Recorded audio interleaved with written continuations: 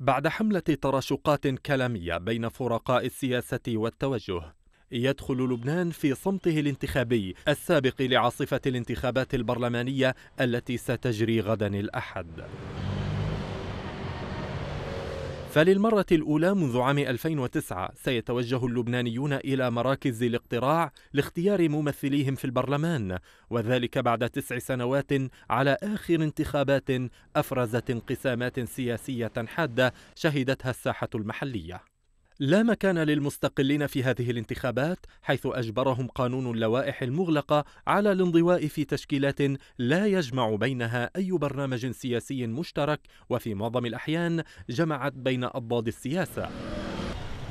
حيث تراجعت ثنائية الرابع عشر من آذار والثامن من آذار التي حكمت المعادلة السياسية في لبنان طيلة سنوات لصالح تحالفات يصفها كثيرون بالهجينة.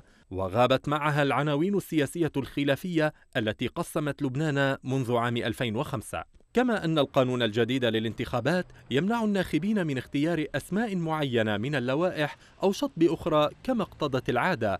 بل على الناخب اختيار اللائحة كاملة وبموجب القانون الجديد تشكلت للمرة الأولى هيئة إشراف على الانتخابات تضم ممثلة واحدة عن المجتمع المدني ما لبثت أن استقالت من منصبها يوم العشرين من نيسان الماضي احتجاجا على عدم توفير الموارد الضرورية لتمكينها من القيام بمهامها.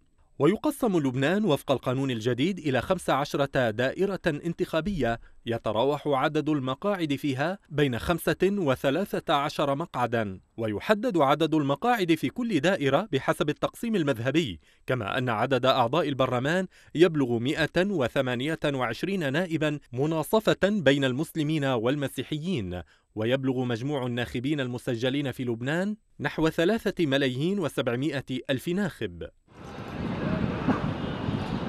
الخلافات السياسية والتجاذبات الإقليمية للبنان وتقاطع المصالح الدولية وفوق ذلك كله أزمة الجار السوري كل ذلك عوامل ستجعل مفرزات الانتخابات الحالية مغايرة للانتخابات التي حصلت قبل ما يقارب عقد من الزمن.